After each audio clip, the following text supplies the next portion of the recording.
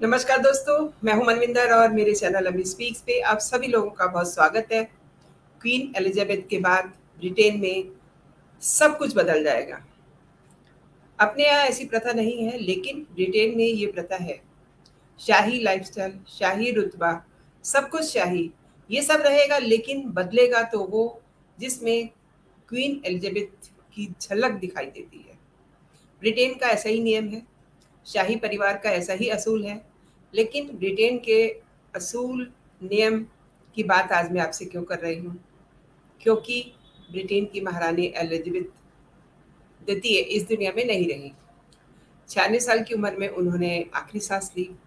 Queen Elizabeth ने सात दशकों तक ब्रिटेन पे राज किया और अब उनके निधन के बाद प्रिंस चार्ल्स ब्रिटेन नए राजा बन चुके हैं।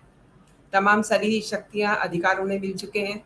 इसके अलावा भी महारानी के निधन के बाद ब्रिटेन में काफ़ी कुछ बदल जाएगा, काफ़ी कुछ बदलने वाला है। क्वीन के निधन के बाद ब्रिटेन के तमाम इंस्टीट्यूशंस के नाम बदलने होंगे। इसके अलावा राष्ट्रमंडलों में भी संस्थानों के नाम बदले जाएँगे।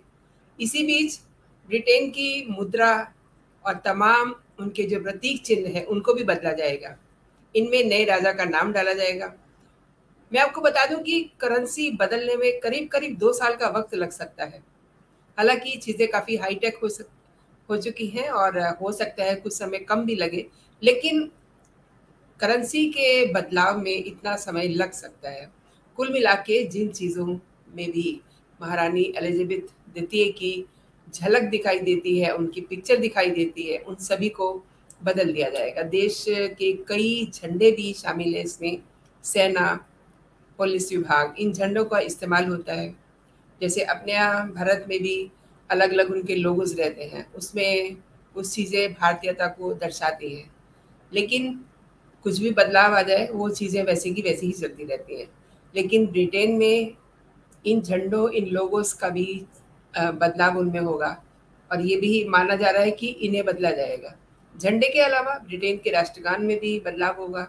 राष्ट्रगान में जहाँ पे क्वीन का इस्तेमाल होता था क्वीन शब्द का इस्तेमाल होता था, वहाँ अब किंग शब्द का इस्तेमाल किया जाएगा।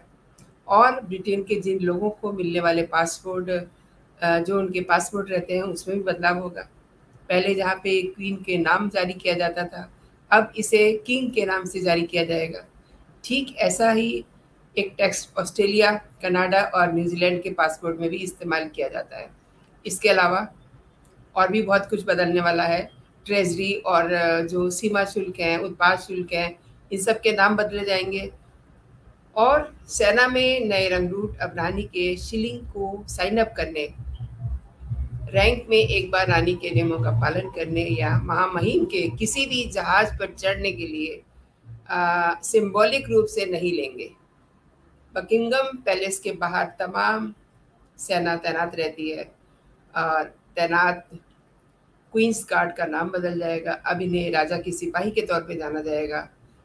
वकील जो है उसका नाम भी बदल जाएगा। जो पहले क्वींस काउंसिल हुआ करते थे, अब वो किंग्स काउंसिल हो जाएँगे। दोस्तों, ये अपने अपने देश की प्रथा होती है और, इस प्रथा को हर देश मानता है। जो भी उसके देश की प्रथा होती है, उसको हर कोई मानता है और, ये नियम होता है हर देश का। तो ब्रिटेन का भी ये नियम है, इस तरीके से वहाँ भी कुछ बदलाव होने जा रहे हैं, जो मैंने आपसे शेयर किए। अब मैं आती हूँ अपनी बात पे। आप मेरे चैनल पे अगर पहली बार आए हैं तो मेरे चैनल को आप सब्सक्राइब कीजिए। इस वीडियो को लाइक कीजिए अगर आपको पसंद आई है तो अगर ज़्यादा पसंद आई है तो आप इससे दोस्तों में भी शेयर कीजिए, क्योंकि ब्रिटेन के बहुत सारे बदलाव होने वाले हैं। यूँ कहिए कि ये बदलाव होने शुरू हो गए हैं ब्रिटेन में। जैसे कि मैंने आपको बताया, सीमा शुल्क है और कई लोगोज हैं सिंबॉलिक चीज़ें हैं जिसमें किंग की जगह अब क्वींस की जगह अब किंग हो जाएगा। तो दोस्तों, ये काफ़ी जानकारी परक वीडियो है। आप इसे अपने दोस्तों में ज़रूर शेयर कीजिएगा और अपना कमेंट करना मेरे कमेंट सेक्शन में ना भूलें। फ़िलहाल इतना ही दोस्तों। मैं आपसे फिर मिलूँगी किसी और जानकारी के साथ। तब तक आप अपना और अपनों का ख्याल रखिए। खुश रहिए, स्वस्थ रहिए। जय हिंद, जय भारत।